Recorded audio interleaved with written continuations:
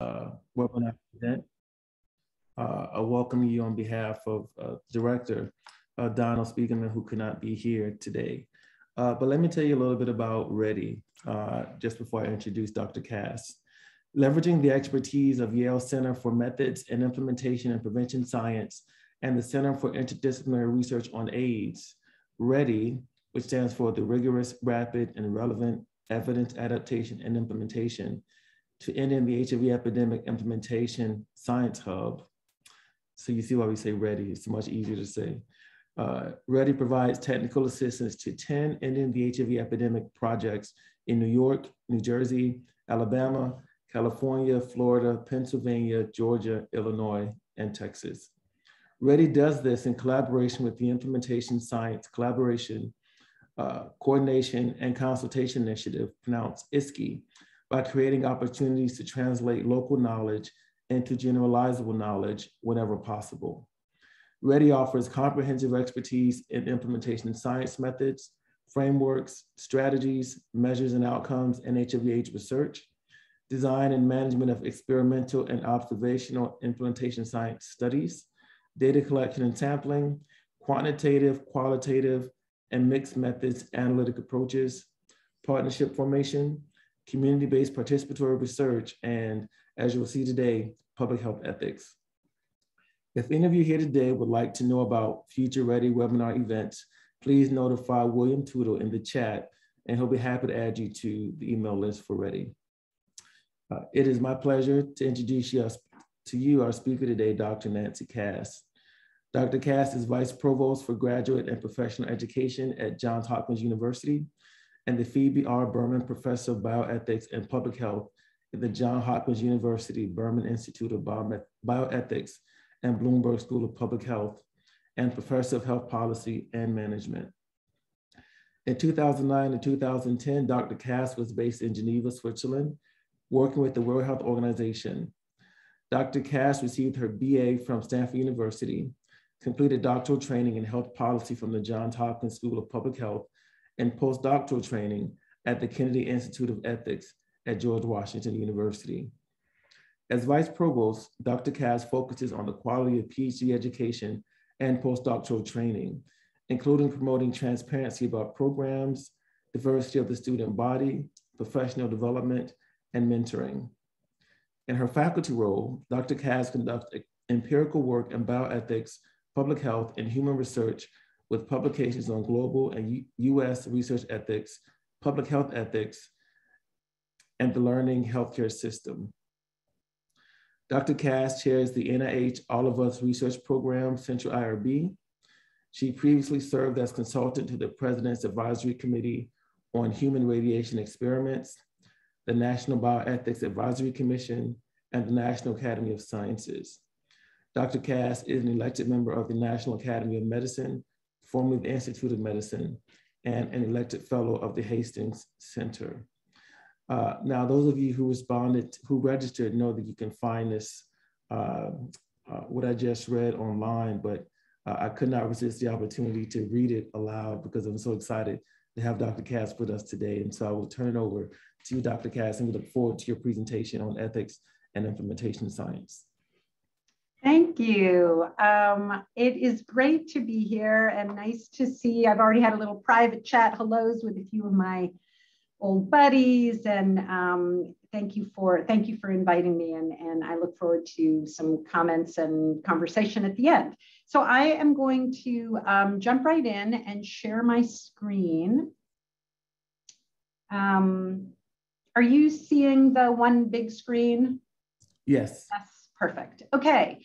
So um, you'll see as I go on that my thinking about the issues that I'm going to discuss today, in my mind, are relevant to a few pieces of overlapping work, what I will call work where we're trying to learn more, that certainly is often called implementation science, is sometimes called learning healthcare, is sometimes called pragmatic uh, research. And I don't mean to suggest that these are all the same thing. What I do mean to suggest is that all of them, in one way or another, are trying to learn more about things we do in the real world or things that we should be doing in the real world.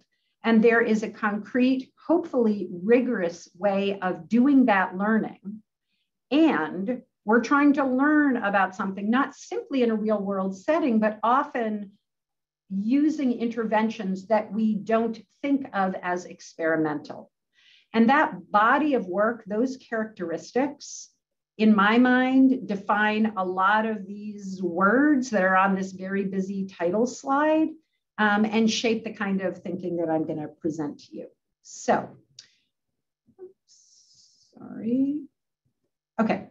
So, so what I'm going to do just to sort of get us on the same page is I'm going to spend a very brief amount of time at the beginning reminding us why we have the ethical oversight we have. And I am confident, without knowing all of you, that this is going to be review. But in my mind, it's actually relevant to be reminded about why we got the IRB system and oversight system that we have and what it was trying to be reactive to. Because in my mind, it um, not surprisingly shaped the way our oversight system is structured.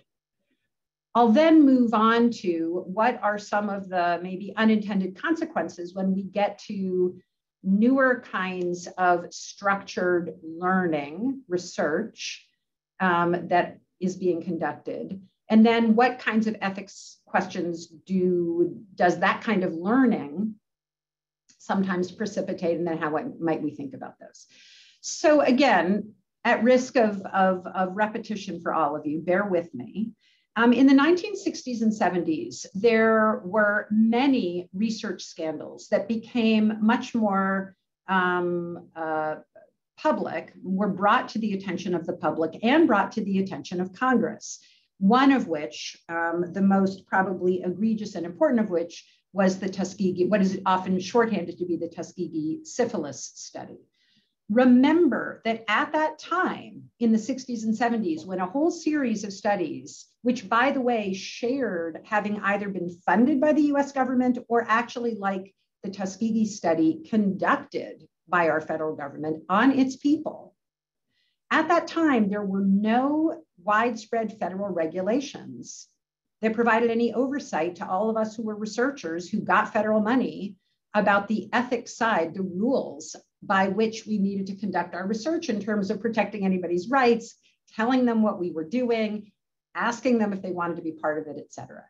So fast forward, 1974, we got a bunch of federal regulations. And if you think of this context, where again, Tuskegee is the most egregious, but there were, there were several um, studies that shared the characteristics of researchers having gone to a fairly vulnerable population who maybe wasn't going to ask questions, did things that were interesting for the scientists, not in the best interest of the participants, and wanted to learn from and on these people, so to speak.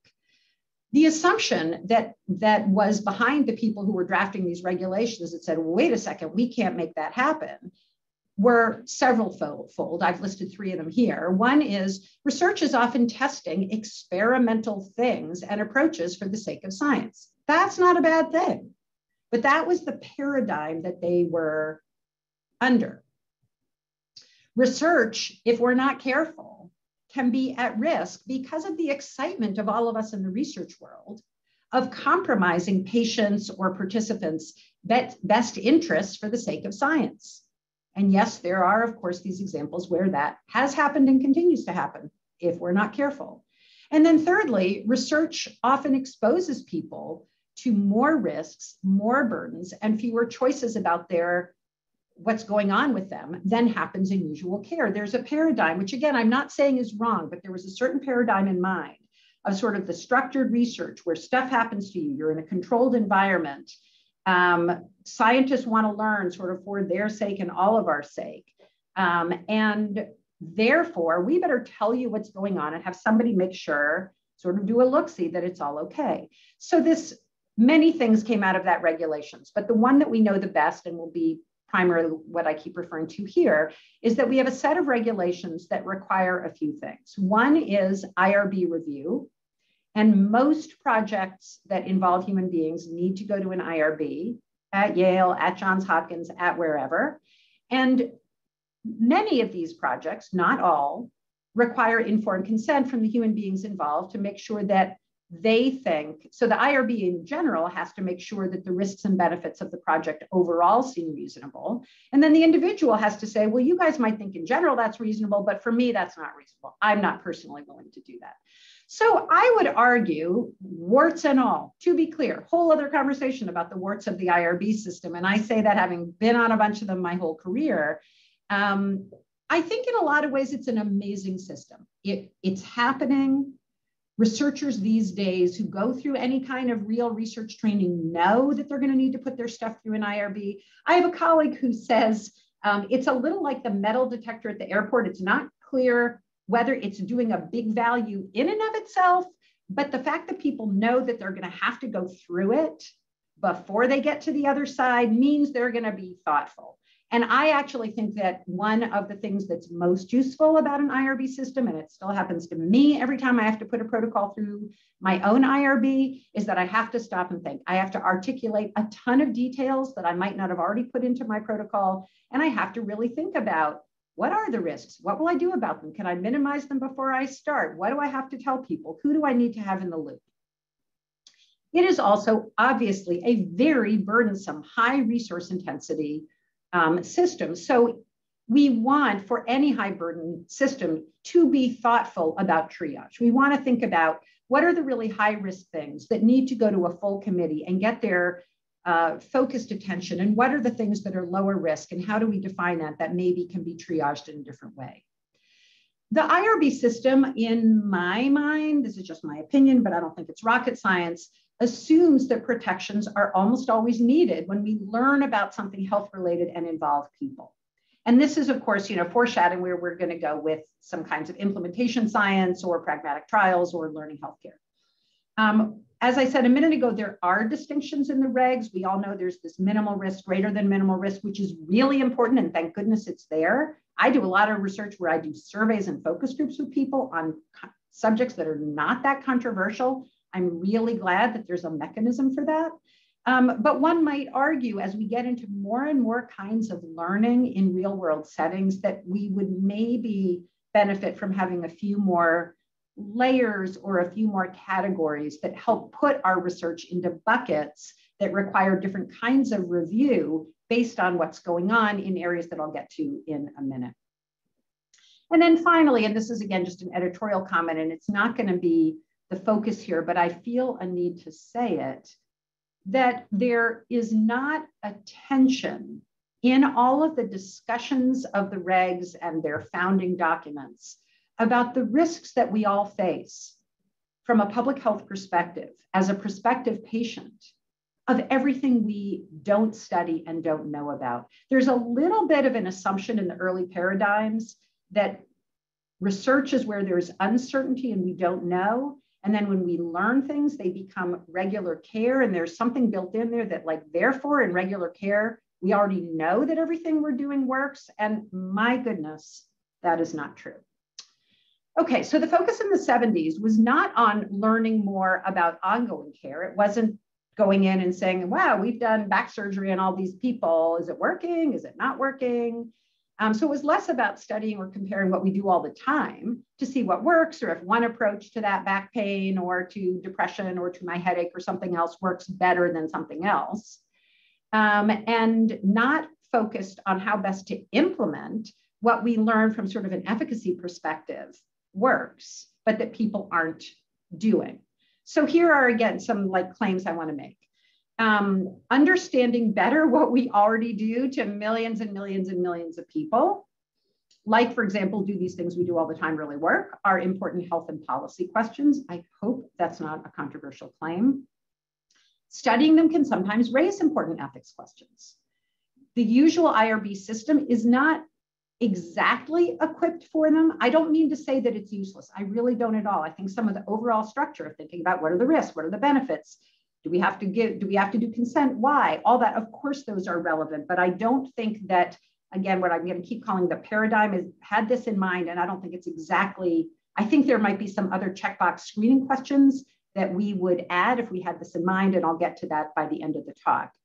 Um, and then the last thing is more what I'm going to call a sociological comment. And again, from having served on a ton of IRBs, and as you heard in the introduction, I chair a central IRB right now. When IRBs face new things, when they face things that they aren't used to seeing, they worry.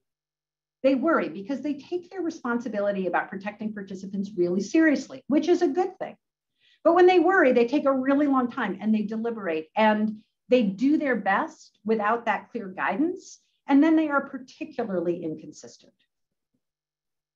So the kinds of things we're going to be talking about, obviously you guys do implementation science. This is your world, studying how best to roll out an intervention that sort of quote unquote works from an efficacy perspective, but it's not clear if a particular way of rolling out um, will work.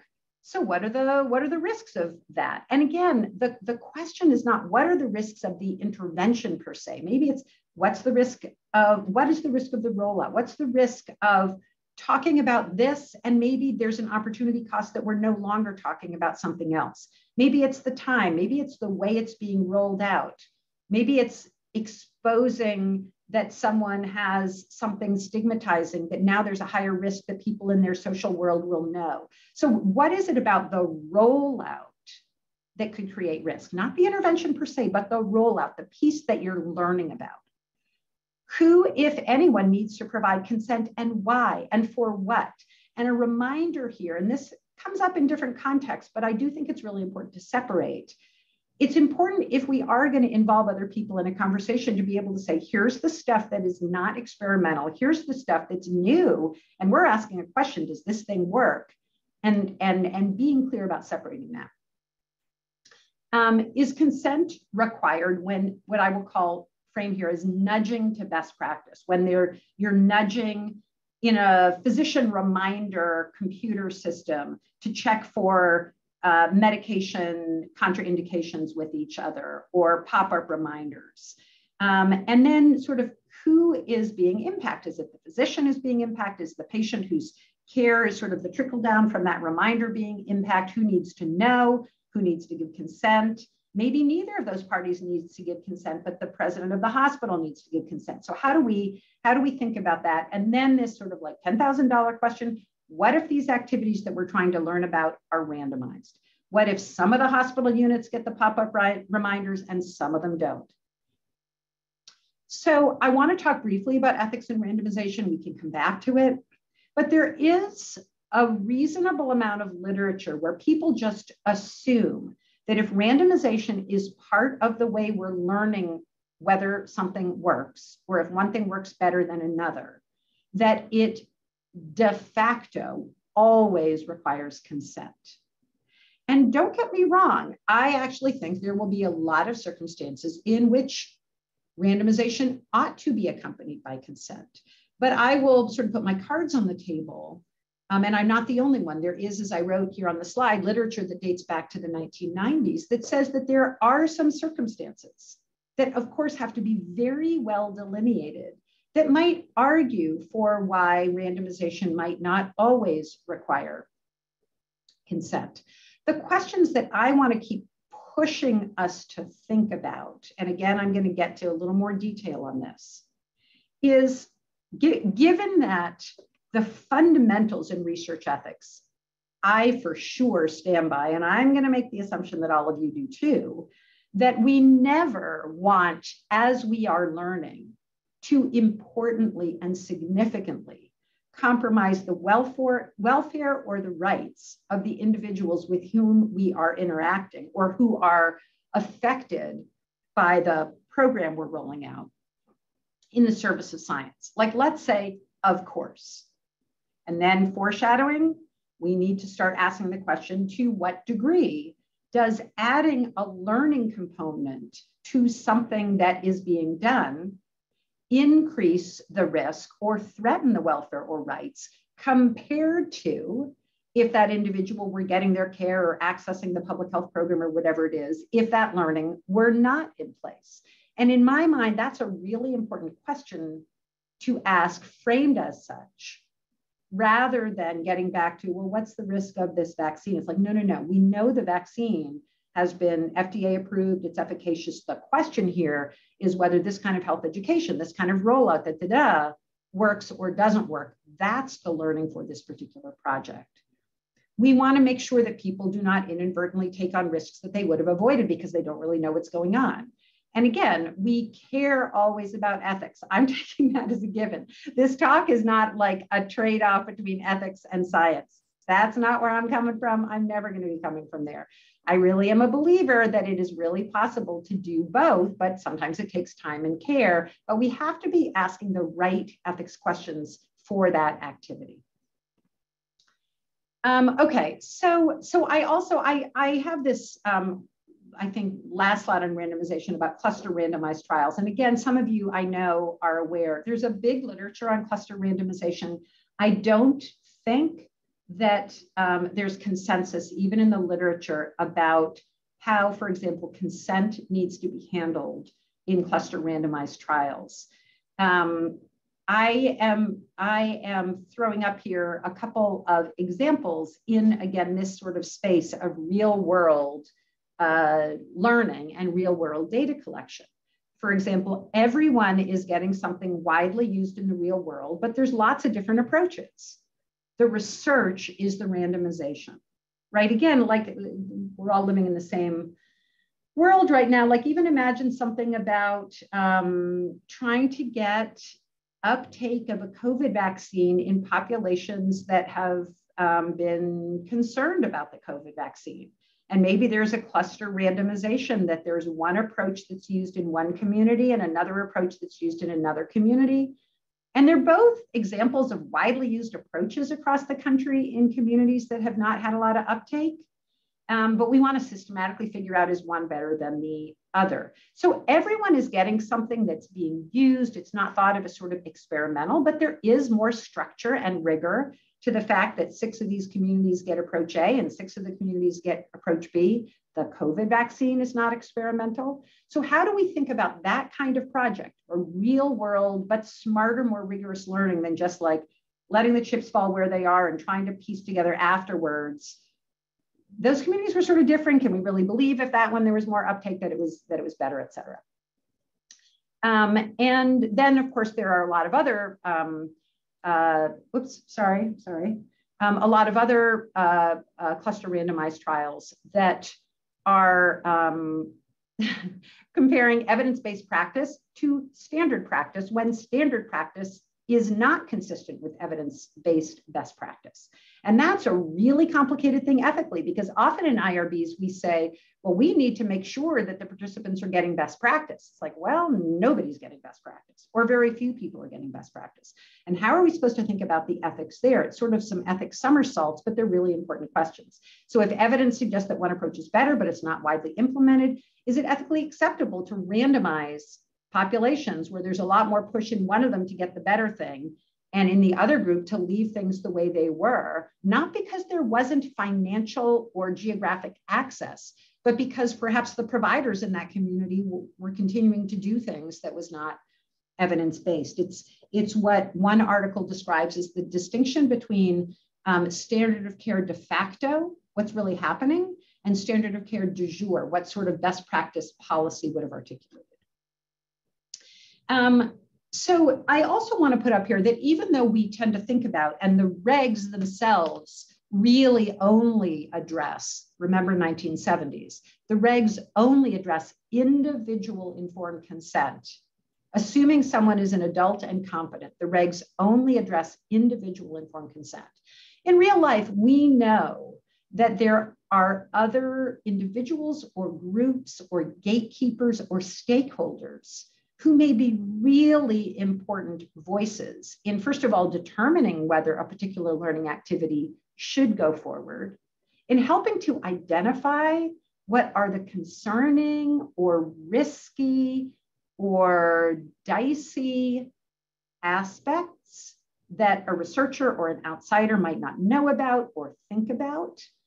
Um, and a thoughtful researcher who's not simply thinking about the regs, but is thinking about these core foundational commitments that undergird the regs, like I care about the welfare of the people involved. Of course I do. I care about them not feeling exploited or taken advantage of. I care about making sure that my program, which I think is really great and cool, isn't somehow going to inadvertently, in an unintended way, deprive them or create an opportunity cost for something else that maybe is even a little bit more important for them. So, thinking about who else needs to be part of a conversation, not to mention in a more gatekeeper sense, give permission, is a responsibility we have as researchers, particularly since IRBs don't um, there are a lot of IRBs that have gotten into the practice of asking these questions because they live in the real world too, and they're comprised of researchers, but the regs don't require them to. And it does create additional responsibilities on us as researchers. So I'm going to transition now to present some work that I did with an absolutely wonderful, dear group of colleagues who are on this slide. Ruth Faden, Tom Beauchamp, special shout out for Tom Beauchamp, who um, you may not all know was one of the two drafters of the Belmont report. So he goes back to the regs we have, and again, the Belmont Report Ethical Foundation. Uh, Sean Tunis, who does comparative effectiveness, Peter Pronovost, who used to be at Hopkins and was sort of our guru of um, uh, quality of care and quality studies and patient safety, which of course is another real gray area in the real world where you want to learn in a rigorous way and Steve Goodman, who's a, a clinical trials um, uh, specialist, and Ruth Faden, my dear, wonderful bioethics colleague at Hopkins, is another ethics person. So we got an NIH grant um, several years ago where we said when we wrote the grant that we wanted to look at this sort of gray area between sort of experimental work and, and um, real world uh, work. And I think when we wrote it, in certain ways, I, I feel so fortunate we got funded funding because we had no idea how much we were going to discover and learn ourselves when we started to peel back the layers of the onion. But we ended up by the end of the project really um, wanting to think about, and we ended up articulating an ethical framework for what for a learning healthcare system, which obviously was not um, learning healthcare system was not our language. Um, the then Institute of Medicine, National Academy of Medicine, um, has some really um, superb reports on learning healthcare and what it is and why it's important, et cetera. Um, but the point is, it's another space where learning is happening, we hope, in a rigorous way in the context of real care, sometimes with uh, protocols that randomize people, sometimes observing simply what's already going on, sometimes trying new things, sometimes pop ups. I mean, just a range of work. So, the goal of the work that we did, which was articulating an ethics framework for this kind of activity, was twofold, which again, I sort of almost feel silly, like putting it in black and white because they feel so obvious, but here they are. One is to increase the likelihood that the continuing continuous learning occurs. Learning is a good, learning is an ethical good. Any of us, like if I'm going to become a patient five years from now, I want to go into a system that is less likely to be full of errors, more likely to know what to do, where I'm less likely to fall out of my hospital bed, where I'm most likely to get the treatment that's going to work for me, et cetera, et cetera. Let's assume that learning is an ethical good, but that that learning will proceed in a way that is ethically acceptable, that it's not at all an either or. The participants' rights, health, and interests must be appropriately protected, both when we provide care and when we learn. So um, here are the principles of, that we articulated in this uh, framework. Um, at the bottom, I have the reference here. You'll, for anybody if you, if anybody who actually bothers to go to the article, you will see that the article itself articulated seven principles. I have eight in here. Um, I'm not going to go into the ins and outs of that. We wanted to ultimately make something a little bit more explicit.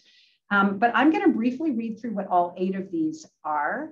And I'm then going to spend a little bit of time to close out on a few of these that I think are particularly important for this space, including for implementation science.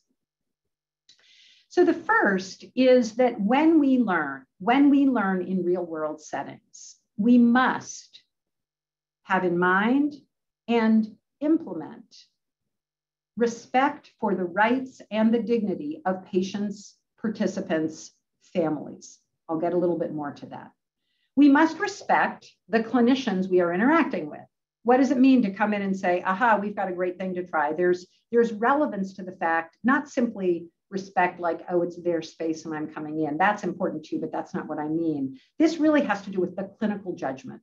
There are reasons why we continue to go to clinicians and not simply computer algorithms for care. Part of it is that not everything is known.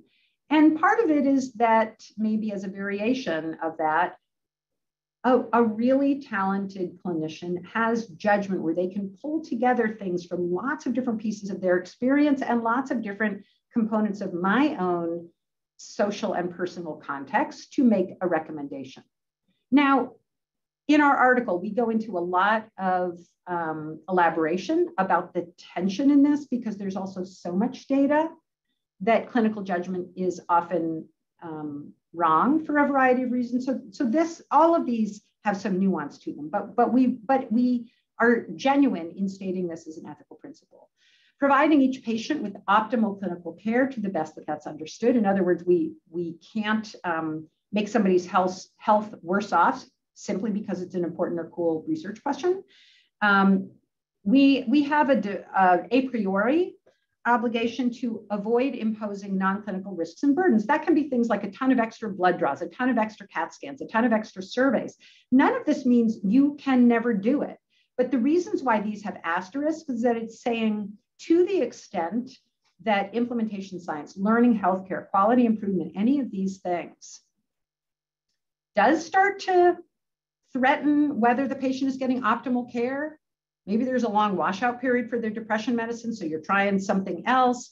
Maybe you are asking them to do CAT scans and a lot of blood, uh, a blood work. Maybe you've decided uh, that you're not going to tell anybody what's going on.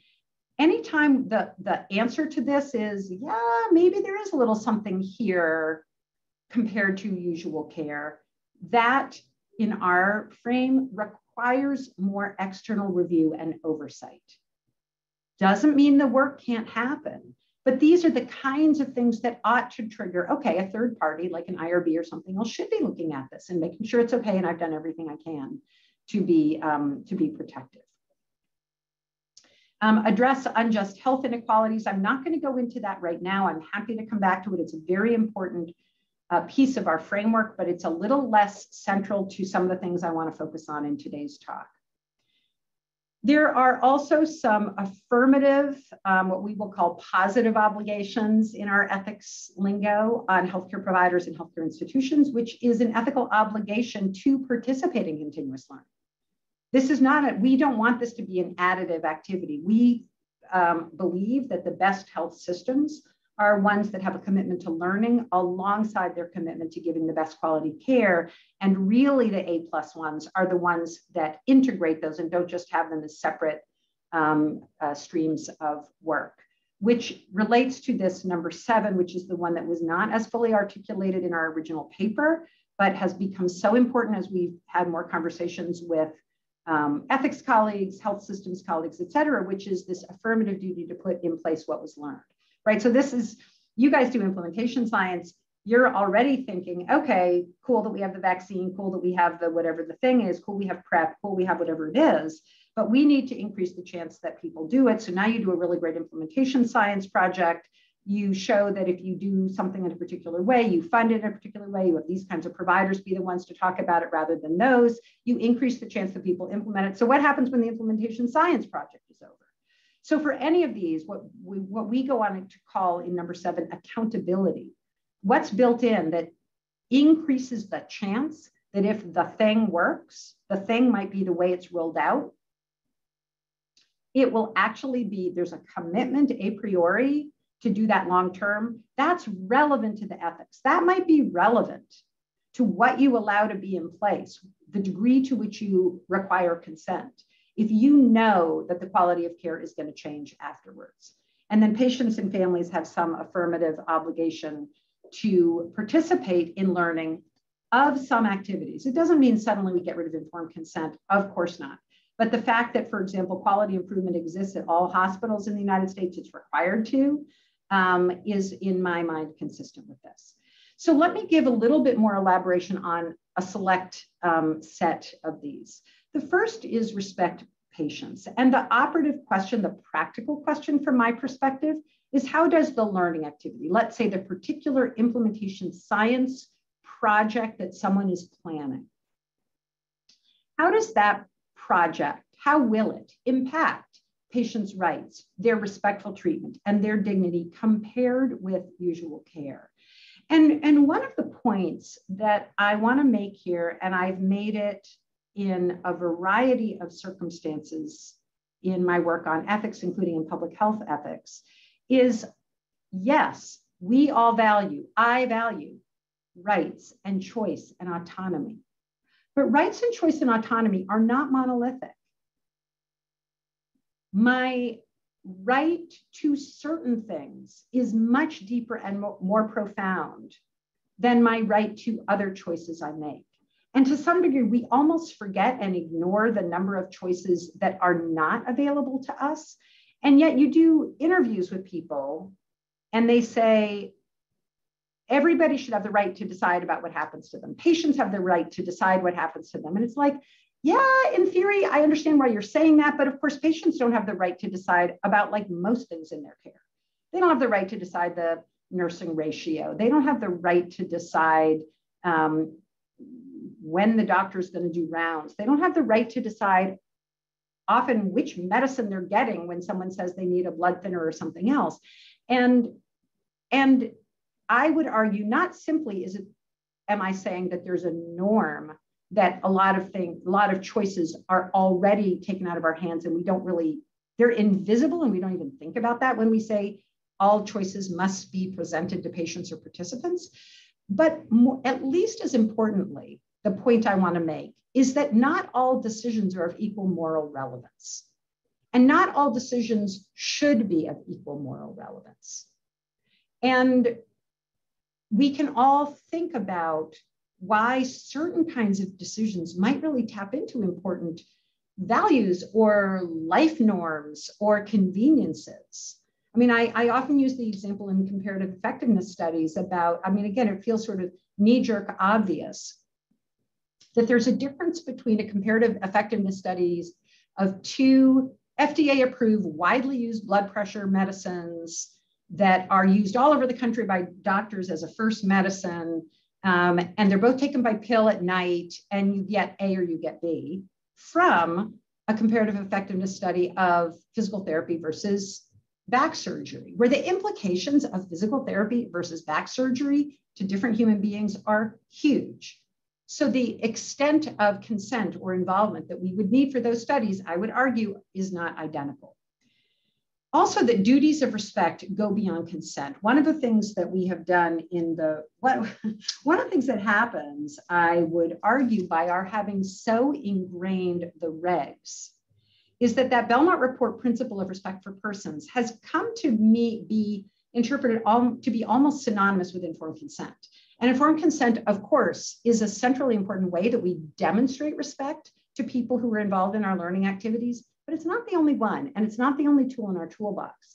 And respect is really important. We all care about respect.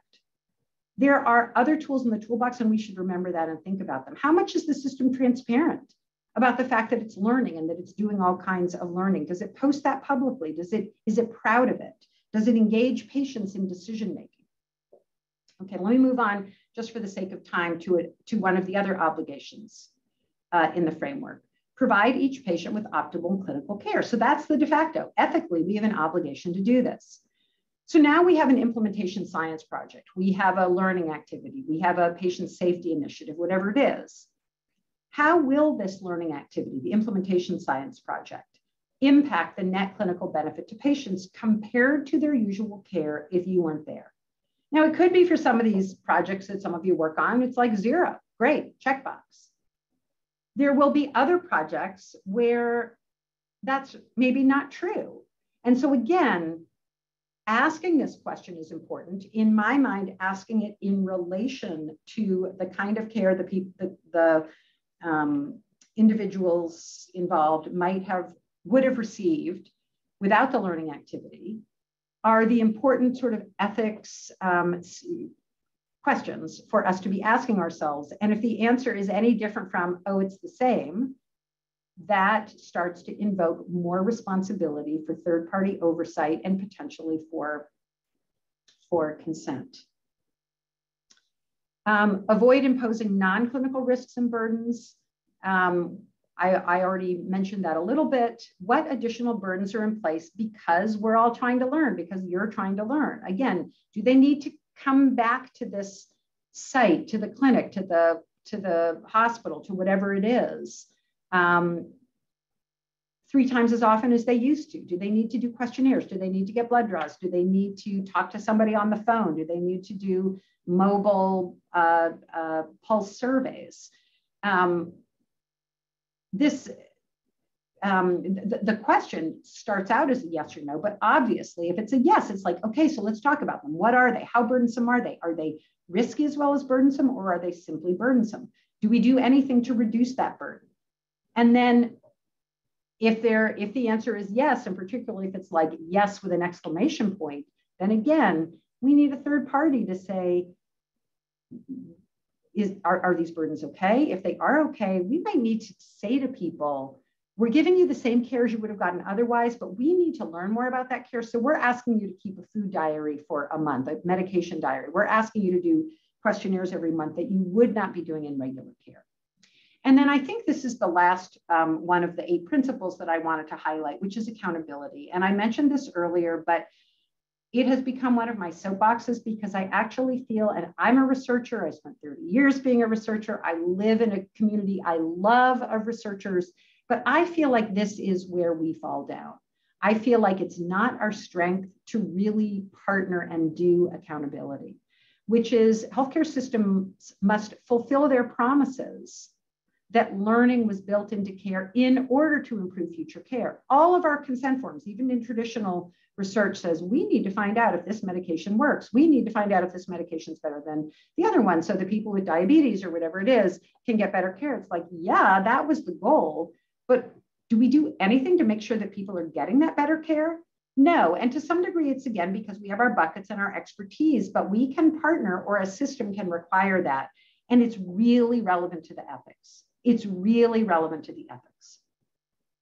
Um, let me keep going here, which is just to underscore this idea that consent is not our only respect tool, being transparent about what we're doing, having engagement, community engagement, stakeholder engagement about thoughtfully relevant parties is a way of demonstrating respect, not to mention increasing the quality and ethical acceptability of our projects, accountability, and again, a triage process. So my closing thoughts, we need tools that work for the ethics of implementation science, pragmatic trials, ongoing learning. Um, and the tools need to always get back to our foundational grounding ethics concerns. Does the activity increase risk or burden? Does it threaten core pieces of values and autonomy? Um, is it less respectful in any way we might define it than usual care that doesn't involve that learning? Um, and then I guess, you know, my final comment is that one of the reasons why the IRB system was put in place as it was was a recognition that all of us come up with scientific ideas and designs because we think they'll work. That's a good thing. To believe in our hypotheses is a great thing. We write our grants saying, here's all the reasons I think this is going to work and I want to try it. And so the fact that I might be conflicted and I already am thinking that's going to be a really cool way to make it work is not a bad thing, but it's why we often need third party oversight. And part of my um, thinking and that of my colleagues in, in articulating these questions in the framework was to be able to help have like decision tree um, uh, triage and guides that say, if you start to answer yes to some of these questions, not a problem. But you need some people who aren't you looking at the study, looking at the project, so that they can help to, um, to figure out if something else needs to be done. Okay, with that, I'm stopping sharing. Turn the floor back to you guys. Thank you. Awesome. Thank you for your presentation. It was very thought provoking, and uh, I'm sure we'll have questions. So we have about 15 minutes that we can take questions. So let me just, so you can use your reactions button to raise your hand, and I'll scan the room and see who has a question. Uh, or you can type it in the chat. So uh, let me ask the first question.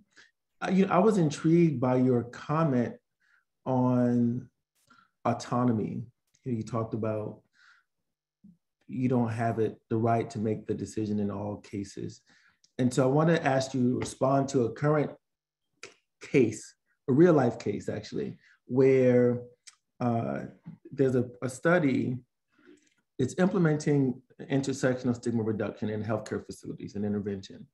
Part of that intervention involves a, a simulated client, somebody who goes into the clinic who, who plays the role of a Black gay man and then has an experience with the, the, uh, the staff. And then at the end of that scenario, they come out of role and say, hey, I'm Ron. Thank you. Here's what I'm doing. Now, the ethics, our ethical approach to researchers was uh, that the person should be known. The clinic should know they're coming and they should know that this is the person who's doing it. Because what we just want to know is whether or not the people can actually implement, do they know how to operationalize what they learned in the intervention? However, and, and because we thought if you if they're caught by surprise, they might do things and say things that put them at risk. However, the implementing agency says that's not useful to us. We don't want to know if they just have the capacity to do these things. Can they be respectful? Can they be anti-racist? We, we, we want to know do they actually do it in practice? And so they have a different learning uh, interest than the research, which is do they have the capacity? Do they have the competencies? Can they check the boxes? And the clinic says no, they should they should not be notified in advance. You should just have the simulated clients come so that we can know whether or not we're actually doing this in practice. And so they're willing to take on more risk for their own learning objectives than the research is allowing because we don't have the same learning interests as they do. So it's this interesting ethical thing because the clinic is yeah. telling us what you're doing isn't as helpful. We rather take on more risk to get the learning that we want. And I don't know how to respond to that, but I'd be interested yeah. to think of it. Yeah, yeah, yeah, yeah, yeah. It's a really interesting example. Thanks. It's I um it's it's it's essentially a, a, a flavor of, if I'm understanding correctly, of deception research. And when is deception acceptable ethically? Um, and to what degree do people feel like their um, rights were disrespected by virtue of, of their having been a, a simulated client. Um, I, you know, I, I, I can tell you my, my own point of view there, which is, which is consistent with a lot of the literature on deception research, which is there's no question that we can get a certain kind of validity about what's really going on when there's deception in a way that there isn't when you say to people, hey, I'm going to send Nancy in and she doesn't really have that thing going on. But we want to see how respectful you are to Nancy because we want we want to assess you. And like, of course, they're going to be on their best behavior with me because they know they're being judged. Where if you're just a random patient, they won't. So, so of course, we can learn things when people don't know. The the the, the sweet spot in the middle, from my perspective, is to the extent that um, clinics can be told that someone is coming sometime this month who is not actually a patient but is part of a study in order to assess things. Worst case scenario for the learning, the staff have upped their game for the whole month. And you aren't accurate in what you learn, but those patients have gotten really better care. My guess is that you're going to get something about that's that's a little more toward accuracy. So I, I think there can be ways to um, get a little bit in the middle there. Yeah, Nancy and LaRon, this is Donna. Um, you know, I know you're calling it deception research, which is such an extreme term. Like, and I worked for over 30 years in the nurses' health study, and we routinely sent blind splits of all kinds of biomarker assays to labs to monitor their quality. And it was never called deception research, it was called routine QC. So yeah. why well, Donna, I mean, all happy- of a sudden is this becoming, you know, having this kind of pejorative type of title, deception research, which is going to, you know, raise all kinds of hackles and um, make yeah. it much harder for. Yeah, yeah. I'll, I'll answer quickly because I see three other hands there. Yeah. Um, it's not a new word. It dates back to the 70s in psychology research. Psychology research is pretty famous for having deception research, and it's why there's such a robust uh, literature. So it's not a new idea at all. There's there is, I guess, obviously quite a difference between having QC, quality control samples sent to a laboratory and interacting with a human being who's engaged in a trust relationship. So um, I, anyway, happy to happy to talk uh, more about that. But I do think that there is some helpful stuff out there about um, when when identities are masked or the true purpose is masked. Yeah, thank you, Nancy. That was a great uh, compromise uh, offer you suggested. So let's, I will just call your names and then you can go one after the other. The first is Sten, then Kaveh and Natalie. I wonder, um, Nancy, if you could comment on the enhanced standard of care concept specifically for research in low resource settings. So the, the notion that in, in large scale community engaged research, uh, typically prevention research, but it could also have a therapeutic element to it. Um, we, we have an innovative approach, but, but, but common sense looks at the standard of care and says that's not ethical. The standard of what is available now is, is not ethical.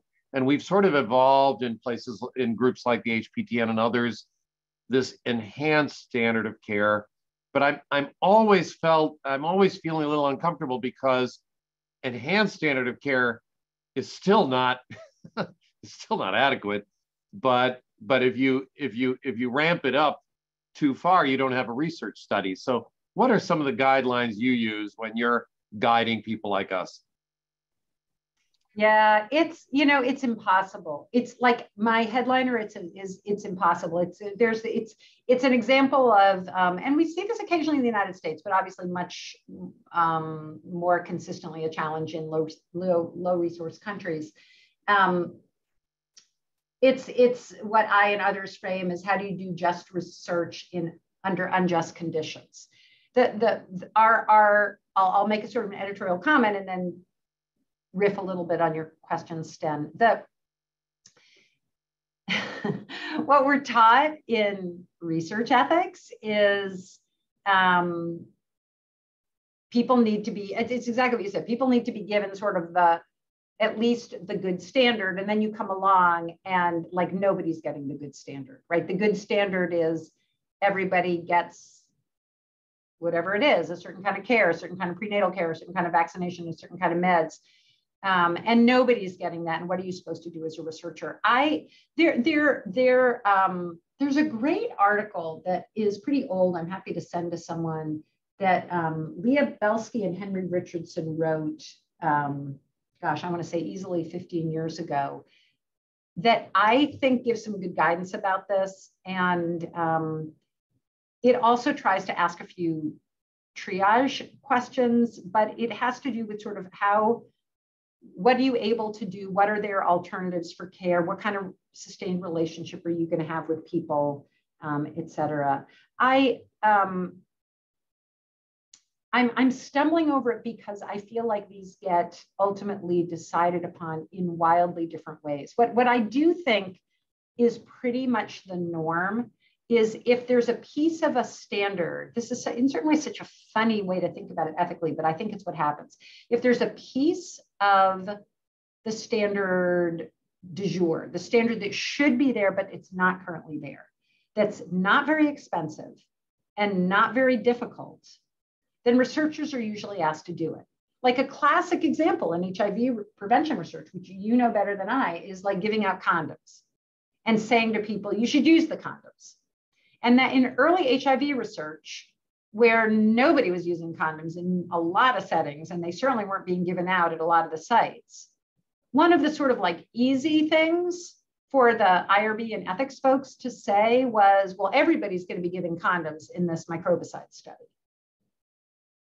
The, there, there is no answer. What, one thing I will say, however, is that one of the, one of the tensions is not only around are we going to learn anything useful if we enhance the standard artificially, but also the enhancement is not necessarily sustainable. So that creates its own ethics challenge. Um, so, you know, I, I think my answer is it's it's adjudicated all over the place. And I feel like there is generally an answer that involves making things better than they were, but not turning it into a New York City clinic. And then there's just like a crazy amount of variation in judgment calls. Awesome. Thank you. Kaveh. Thank you, Nancy, for this great talk. And also, um, many of our students have benefited from your scholarly papers on ethics. I, I want to ask you questions about IRB process for um, research in sort of humanitarian emergencies, health emergencies, and how do we sort of make sure the IRB process is not so burdensome and, and long that it kind of prevents uh, researchers who wanted to conduct in these uh, sort of emergency situations? Yeah, that's a great question. So, so one of the things that I actually, for, for those of us who are at academic institutions, and we have the benefit of having our IRBs at our home institutions, like they're there for us to serve us. I'm a big believer in um, having as many pre-project conversations with IRBs as possible, certainly around specific projects, but even more importantly, as you were describing, around bodies of work. And essentially to say, we predictably at Yale, we have a group of people who are interested in humanitarian work. Predictably, the next time that there's an XYZ crisis, we're going to want to be there within a week and doing these kinds of things. And so I, I know that I know that exactly those conversations have happened at Hopkins at the School of Public Health. And I know that a couple of my colleagues actually put together sort of sample model protocols that were typical of the kinds of things they do and got and went through a back and forth. It wasn't automatic, but a back and forth with the IRB to get those approved. And then could submit a track change version for every time there was a specific situation and try to have it go through an expedited process, which was something that everybody recognized the reason for. But it was much more efficient because a lot of the basics had already been negotiated. But, but it builds on the idea of like, talk to your IRB. I mean, the IRB is basically made up of us yes, there are staff who are not us, but like those of us who are researchers take turn. It's like grant reviews, like it's us, and we're just wearing different hats. And I think the more there can be these conversations, whether it's around that or implementation science or anything else, um, I think it's in everybody's interest. Dr. Kass, thank you uh, for uh, taking time to talk to us today. I, I, asked the construction crew to hold off until one o'clock and they started right again at 101. So uh, let me just thank you again on behalf of uh, Reddy and Dr. Spiegelman, who is still able to join us today. Uh, we hope you all can join us again for the next uh, event. Take care. Thanks for having me. Take care. Bye-bye.